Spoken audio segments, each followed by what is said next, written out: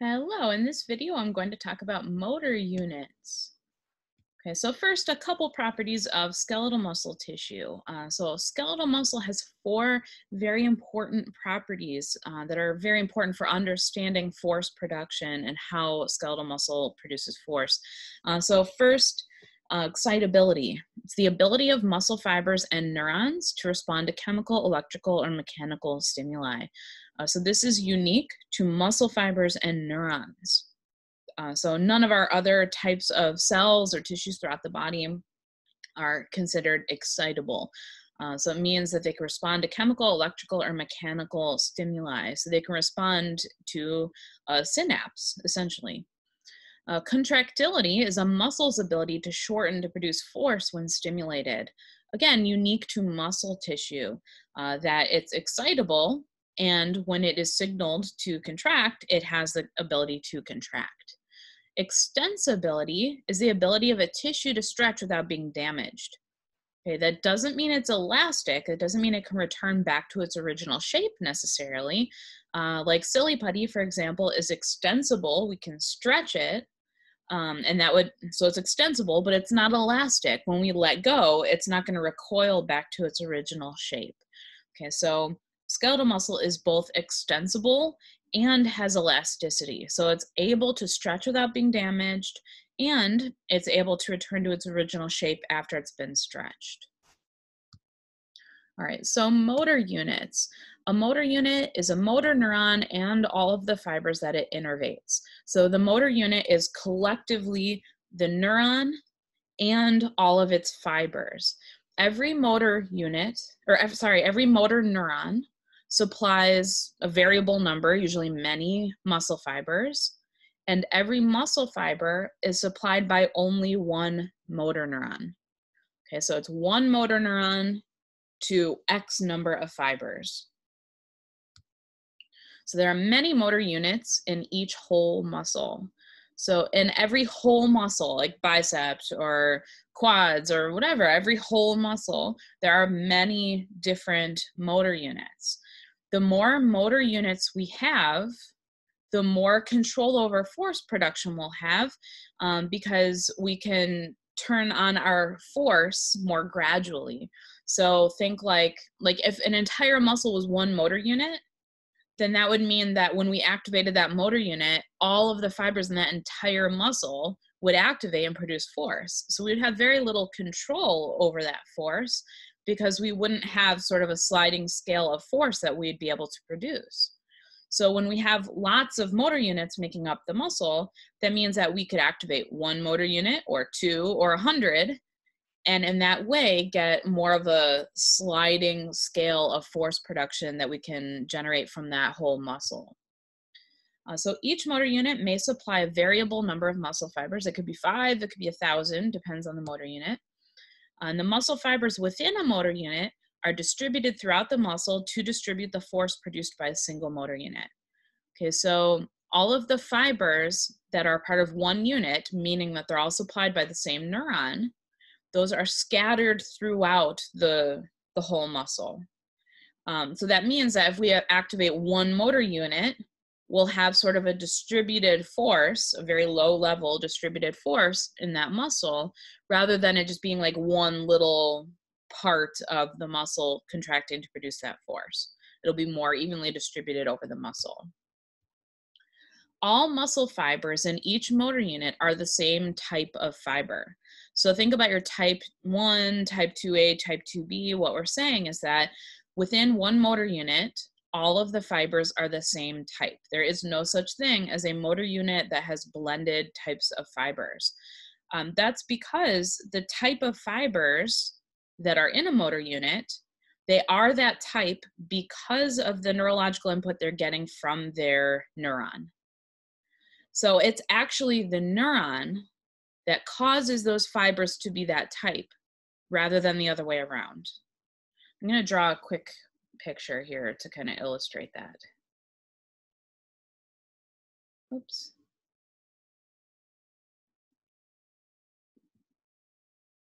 Okay, so I want to illustrate my point here.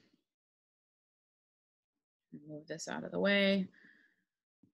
All right, so let's say we have this little motor neuron. There's my motor neuron, and we'll say that's a type one, and it's got some fibers. Okay, now we've got this motor neuron. It's a little bit bigger. And we'll say that's a type 2A. And now we've got a bigger neuron. And it's a 2B. And they all have their fibers. Okay, so the properties of muscle fibers, the different types of muscle fibers, are in response to the activation that they're receiving. So we know that type 1 fibers are very resistant to fatigue. They're they're better at energy production, um, so that they can act at a lower level with less force, but over a longer period of time.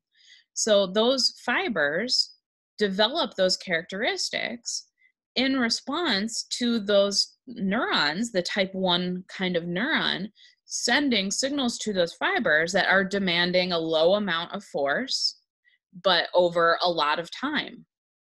So the more signals a neuron sends to the fibers, the more those fibers must adapt to become more fatigue resistant and thus more like a type 1 fiber. And then the opposite is true if we're not asking the fibers to contract very often and when we do we want them to produce a lot of force those the characteristics of those fibers will transform more into a type 2b type fiber and then like we've talked about before it's a sliding scale of fiber characteristics so whatever those fibers are asked to do by the neuron that's controlling them that's how those fibers will adapt to have those characteristics to be able to withstand whatever is being asked of them by their neuron.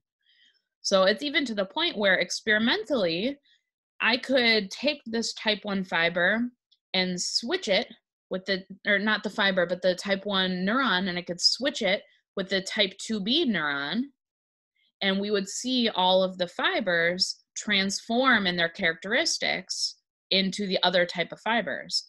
Then we could switch them back again and the fibers will transform back again. Okay, so every motor unit is made up of a motor neuron and all of the fibers that it controls. And all of those fibers will be the same type because they're receiving the same commands from the same motor neuron. Okay, also, while I am here with this picture, I want you to notice that I drew the type 1 neuron as the smallest, the type 2A kind of medium, and the type 2B bigger. Um, so those neurons are of different sizes, and a smaller neuron is going to have a lower threshold, and a larger neuron will have a higher threshold. And what I mean by that is that a lower neuron will activate and send its uh, signal to tell the fibers to contract, um, so with a lower threshold, it means that it takes less of a stimulus to cause it to generate an action potential. A higher threshold means it will take more stimulus to cause it to generate an action potential. You could think of it as like a small bucket, a medium bucket, and a really big bucket. It's going to take a lot less water to fill the first bucket. So like if I if I pour a gallon into each bucket, it might fill the first very small bucket. It might only halfway fill the medium bucket and a third of the way fill the very large bucket. So when the bucket is full, that means it reached its threshold and generates an action potential. So that means the type 1 fibers, the type 1 neurons, are going to reach their uh, threshold earlier with only one gallon of water whereas the other two types might not have reached their threshold with the same amount of stimulus. That's what determines the order in which the motor units are recruited. So the type 1A, or sorry, the type 1 motor units will be recruited, recruited earliest, they'll be recruited first because they have the lowest threshold. They have the smallest neuron, so it has the smallest bucket and requires the least amount of stimulus for it to activate and tell all of its fibers to contract. Then, as the stimulus increases, meaning the stimulus in this case would be the commands from the central nervous system to the neurons to say to contract.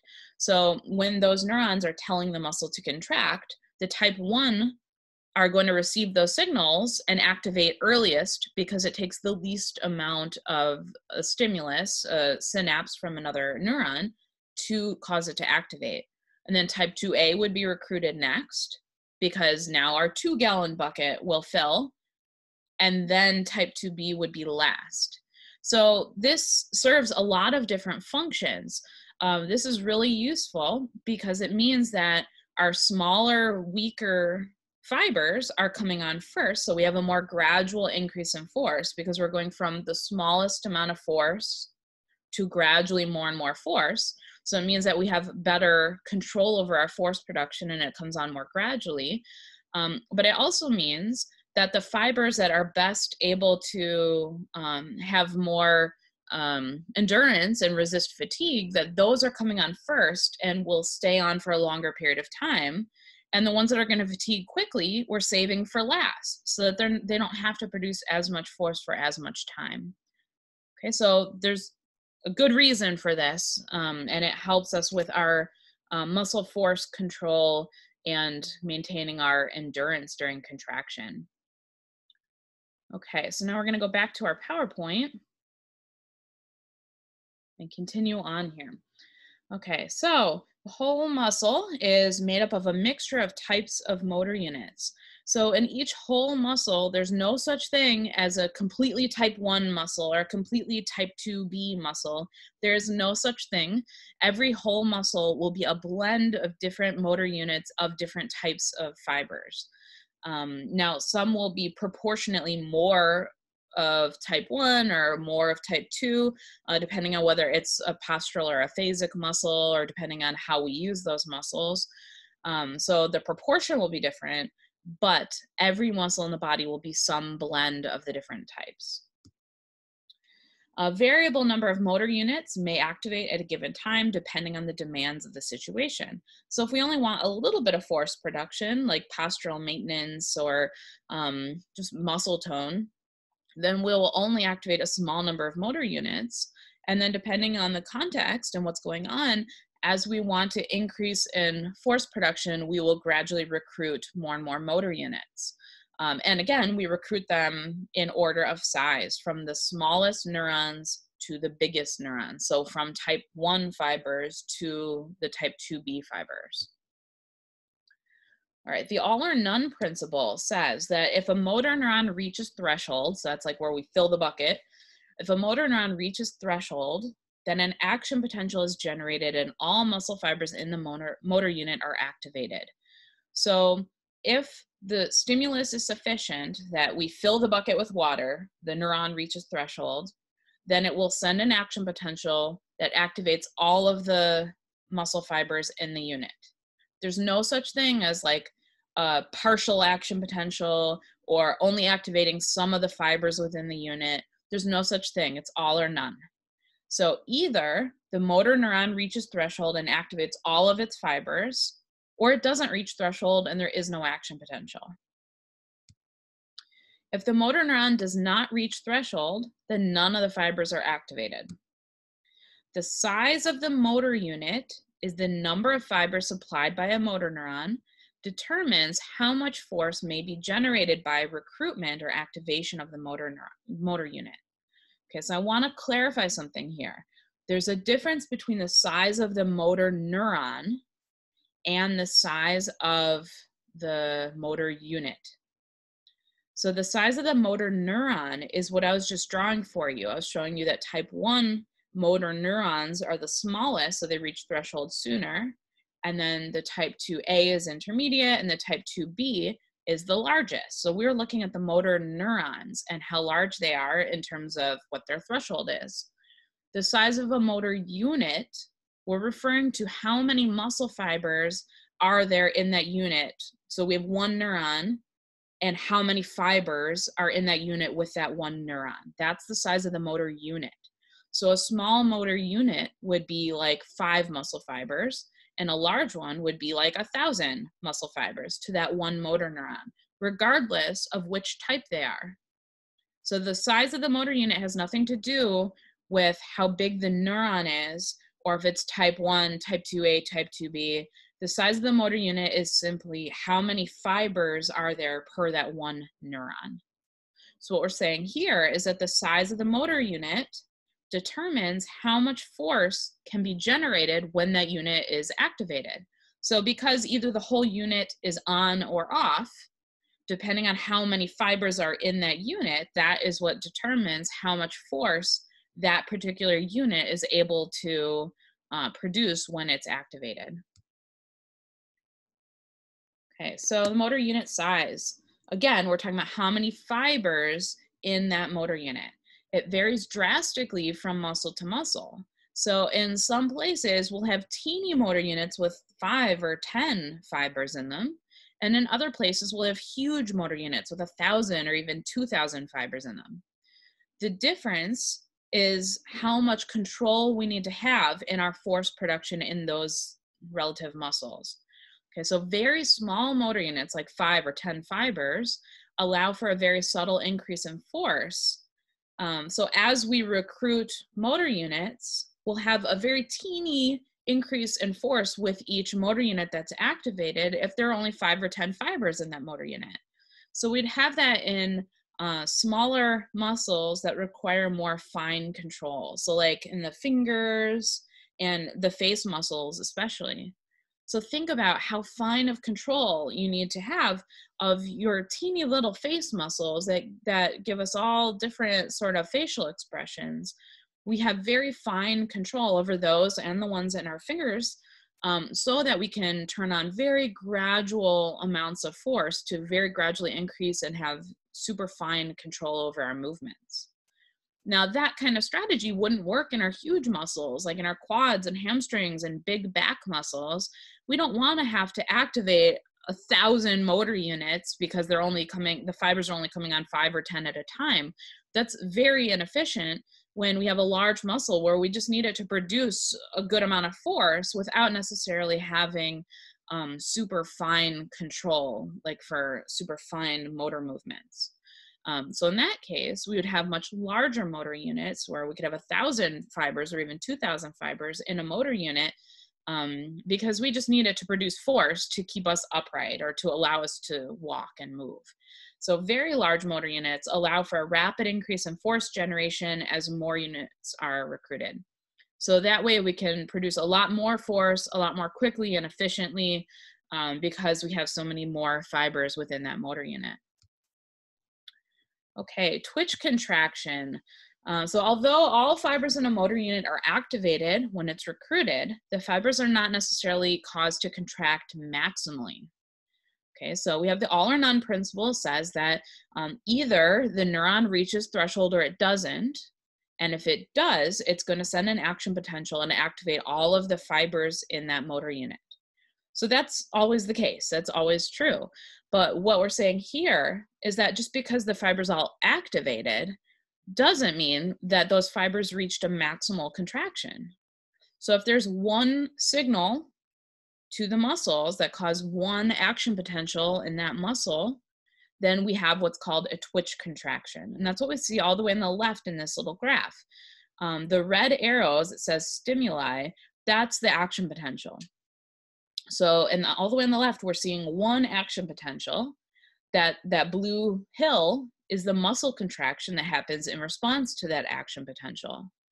So we're getting one, you know, it, one contraction of the muscle that then is fleeting. So it's not a maximal contraction, it's just a contraction response to one action potential. So the twitch contraction, a very brief, weak, fleeting contraction, like we see all the way on the left there, of the muscle fiber in response to one action potential. The latent period is a brief period of only a few milliseconds following the arrival of an action potential while the steps required to generate a contraction are initiated.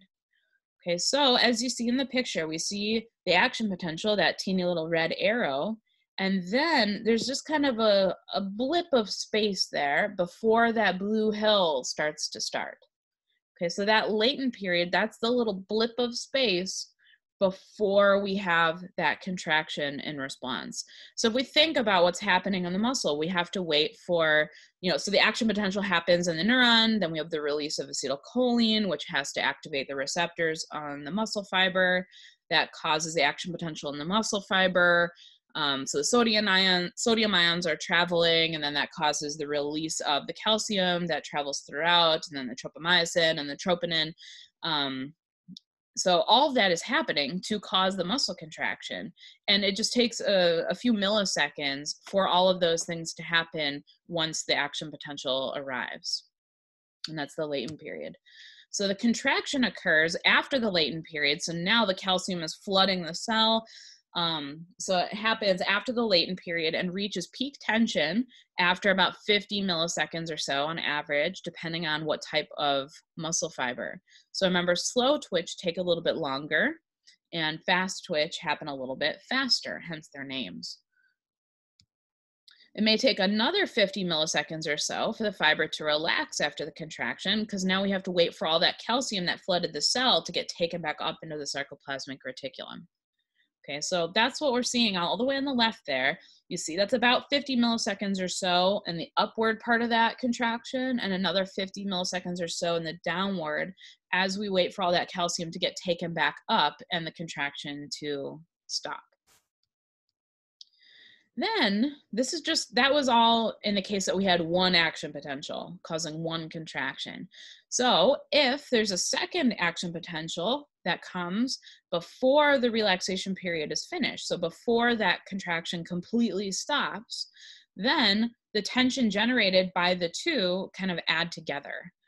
Okay, so if a second action potential arrives at the muscle fiber before the relaxation period has ended, then the tension generated by the second action potential is added to what is remaining of the first.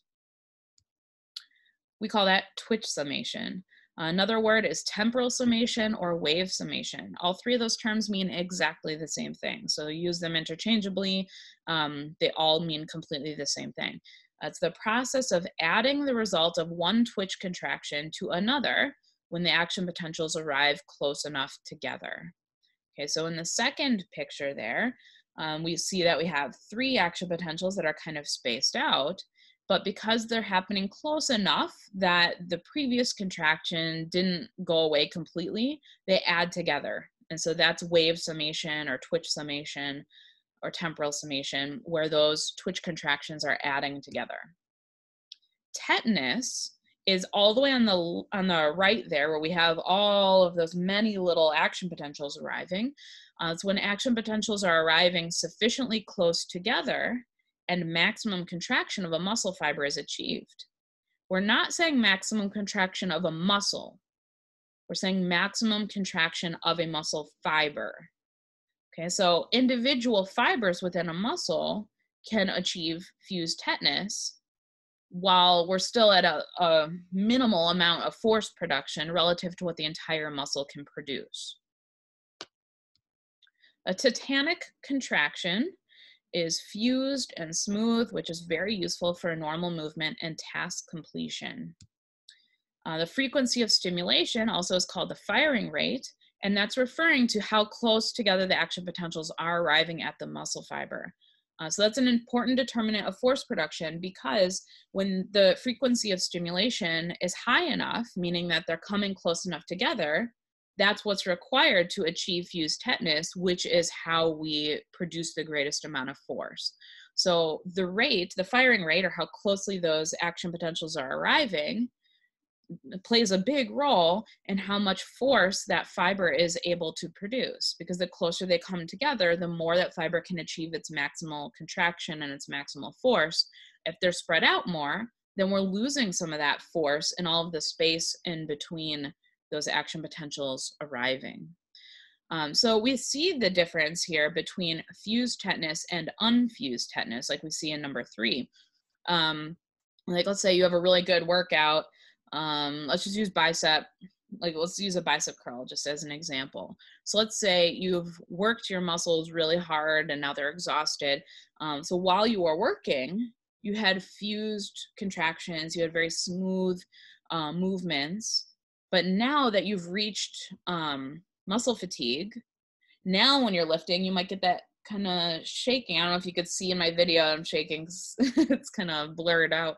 Um, but like when you're really working hard in your workout and your muscles are shaking and and it's not fused and smooth anymore but now you're all shaky and um, having a hard time smoothing that contraction because the muscles are so exhausted what happened there is that you ran out of resources to continue to respond to those action potentials at the rate that they're coming and so what you get there is an unfused tetanus so all of those shaky, all the shaky movements that you're experiencing is you're experiencing those hills that you see in number three in the picture there.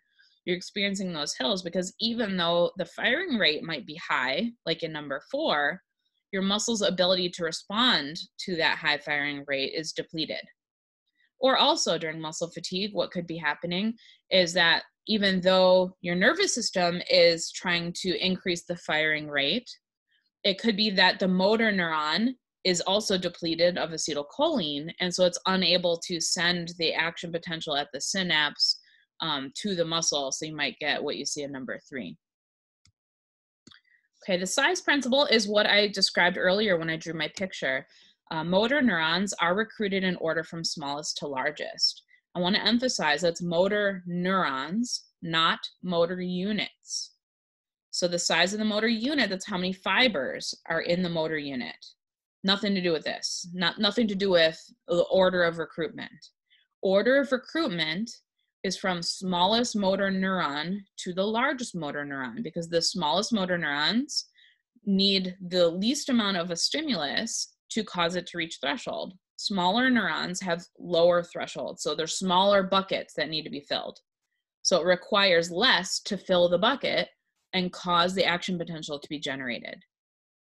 Okay, so motor neurons are recruited in order from smallest to largest, and the smallest are the type 1 fibers or the type 1 neurons that are connected to the type 1 fibers.